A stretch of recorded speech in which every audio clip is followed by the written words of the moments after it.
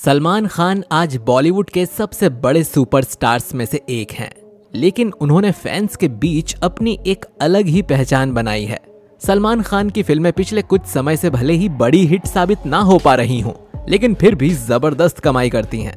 सलमान जितना फ़िल्मों से कमाते हैं, उससे दस गुना ज़्यादा अपने बिजनेसेस और अपनी कंपनीज़ से वो कमा लेते हैं। तो आज के इस वीडियो में हम आपको बताने वाले हैं सलमान खान कितनी कंपनीज़ के मालिक हैं। तो आइए करते हैं शुरू। नंबर एक बींग ह्यूमन बींग ह्यूमन नाम किसने नहीं सुना? सालों पुरानी बींग ह्यूमन चैरिटेबल ट्रस्ट 2007 में लॉन्च हुई थी। इसके बाद 2019 में बींग ह्यूमन क्लोथिंग लॉन्च हुई। जिसकी 15 कंट्रीज़ के अक्रॉस स्टोर्स हैं। इन स्टोर्स में ज्वेलरी मेंस वियर और विमेंस वियर के साथ साथ फ़ैशन की कई सारी चीज़ें उपलब्ध हैं। और इनकी ह्यूमन ई बाइसिकल नाम से इलेक्ट्रिक साइकिल्स की भी अच्छी खासी रेंज है।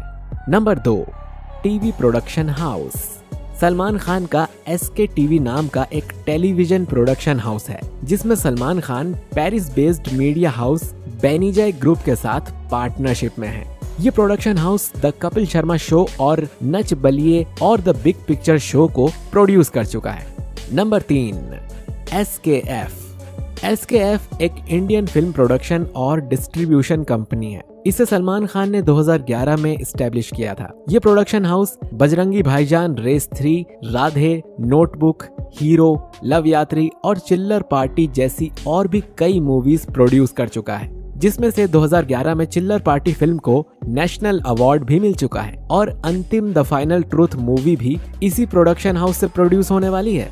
नंबर चार S K twenty seven fitness centre and gym Salman Khan पूरे इंडिया में जिम खोलने का इरादा सालों पहले ही बना चुके थे और इसी के चलते इन्होंने दिल्ली, मुंबई, पुणे, चेन्नई और हैदराबाद जैसे कई शहरों में अपने जिम भी शुरू किए और धीरे धीरे इंडिया में इनका टारगेट 300 जिम खोलने का है। और ये टारगेट पूरा भी हो सकता है भैया, वो सलमान खान है। कुछ भी कर सकते हैं। नंबर पाँच, जेरारी। 2018 में सलमान खान ने जेरारी नाम के 100% परसेंट मैन्युफैक्चरिंग राइट्स एक्वायर कर लिए थे। जेरारी 25 साल पुरानी फिटनेस इक्विपमेंट मैन्युफैक्चरिंग कंपनी है, जो एक महीने में लगभग 100 जिम को इक्विपमेंट्स प्रोवाइड करती है। सलमान खान ने जेरारी को बींग स्ट्रॉन्ग नाम से रीलॉन्च किया था। सलमान ने ऐसा इसीलिए किया क्योंकि वो इंडियंस के लिए फिटनेस मटेरियल अफोर्डेबल बनाना चाहते हैं। Being Strong treadmill dumbbells air bikes और चेस्ट प्रेस जैसे और भी इक्विपमेंट ये कंपनी बनाती है। और लगभग 175 से भी ज़्यादा जिम्स में इस कंपनी के मटेरियल इंस्टॉल्ड हैं। नंबर छह, यात्रा डॉट कॉम सलमान खान यात्रा डॉट कॉम के सिर्फ़ ब्रांड एम्बेसडर ही नहीं, बल्कि इस कंपनी के पाँच परसेंट स्टॉक होल्डर भी थे। और इतना ही नहीं, यात्रा डॉट कॉम से सलमान खान की एनजीओ बीइंग ह्यूमन को भी फ़ायदा होता था, क्योंकि यात्रा डॉट कॉम कस्टमर से उनके हर ट्रांजैक्शन पर बींग ह्यूमन को डोनेट करने को बोलती थी। नंबर सात ब्रांड एंडोर्समेंट्स 2018 में डफ एंड फेल्फ की एक रिपोर्ट के हिसाब से सलमान खान की ब्रांड वैल्यू 55.8 मिलियन डॉलर है। बहुत सी कंपनीज़ जैसे Suzuki History TV Dixcy Scott Wheel Pepsi Thums Up और माउंटेन ड्यू जैसी और भी कई कंपनीज़ का चेहरा सलमान खान है। नंबर आठ फ्रेश कुछ वक्त पहले ही सलमान खान ने फ्रेश नाम से एक ब्रांड लॉन्च किया है, जिसमें पर्सनल केयर और पर्सनल हाइजीन के प्रोडक्ट्स जैसे हैंड सैनिटाइजर्स उपलब्ध हैं। जल्द ही कुछ और नए प्रोडक्ट्स ये बाज़ार में लाने वाले हैं। नंबर नौ, डिजिटल वर्ल्ड। साल 2017 में सलमान खान ने स्मार्टफ़ोन कंपनी बींग स्मार्ट का रजिस्ट्रेशन करवाया था।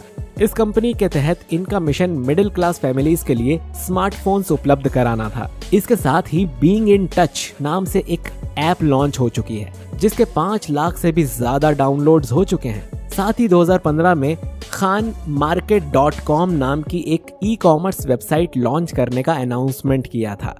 जो कि एक लीगल केस में उलझ गई थी, क्योंकि इसका नाम पैंसठ साल पुराने खान मार्केट के नाम पर था। उसके बाद ये लॉन्च नहीं हो पाई।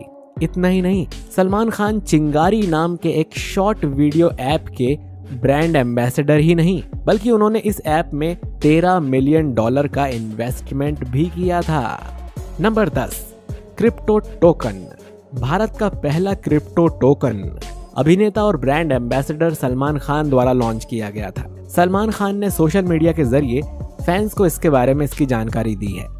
Number 11 TV shows. 2008 में आए शो 10 का दम को सलमान खान ने होस्ट किया था और साल 2009 के सीज़न के होस्ट भी यही थे। इसके बाद 2010 से बिग बॉस सीज़न 4 से लेकर सारे सीज़न सलमान खान ही होस्ट करते आ रहे हैं, जिसमें हर एपिसोड में सलमान खान 12 से 14 करोड़ रुपए चार्ज कर।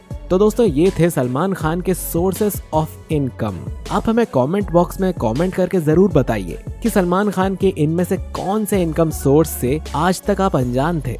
और लाइक और शेयर और सब्सक्राइब भी करना है आपको। चलिए दोस्तों, मिलते हैं आपसे बहुत जल्द अगले वीडियो में। शुक्रिया।